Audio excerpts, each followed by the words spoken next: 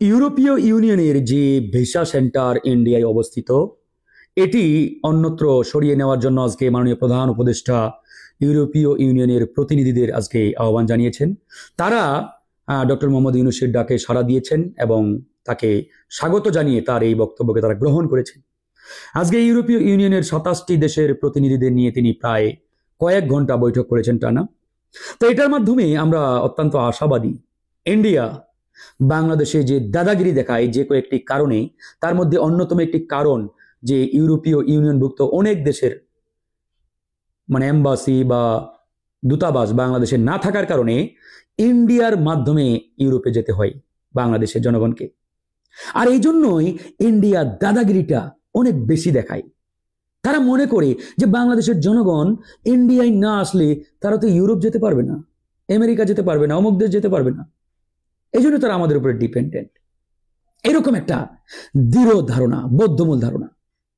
তো আমরা আশাবাদী, ইউরোপীয় ইউনিয়ন ডক্টর মোহাম্মদ ইউনুসের ডাকে সাড়া দেবেন দ্রুত এবং এই ভিসা সেন্টার অন্যত্র সরিয়ে নেবেন। বিশেষ করে এটি মালয়েশিয়া, সিঙ্গাপুর কিংবা আপনার Nepal, Bhutan, Indonesia whatever দক্ষিণ এশিয়ার যে কোনো দেশে।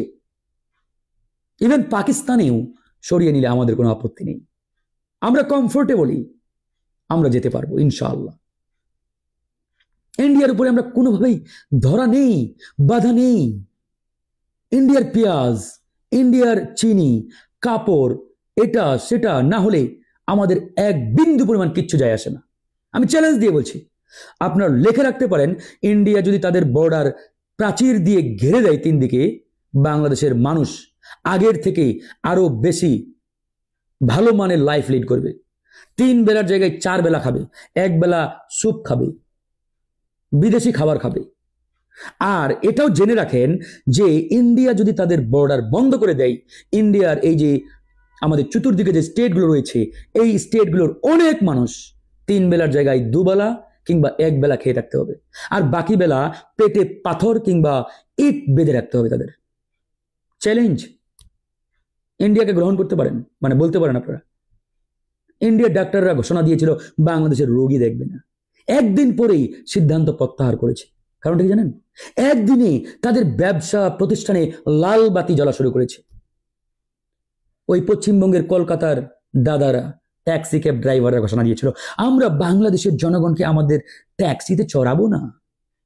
দুই দিন পরে সিদ্ধান্ত প্রত্যাহার করেছে। সরকারকে মানে মোদীকে হুঁশিয়ারি দিয়েছে যে বাংলাদেশের জনগণকে যাতে ইন্ডিয়ায় কমফোর্টেবলি আসতে দেওয়া হয়, বাধা না দেওয়া হয়। কেন?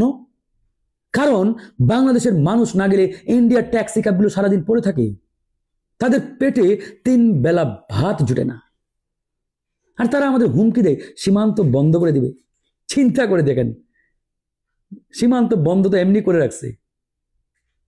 কাটাতারের বেড়া দিয়ে রাখছে ভাই। খোলা আর কি রাখছে? পেঁয়াজ বন্ধ করবে। আরে ব্যাক কলের দল। পেঁয়াজ তো আমরা পাকিস্তান থেকে আনব, চীন থেকে আনব, মালদ্বীপ থেকে আনব।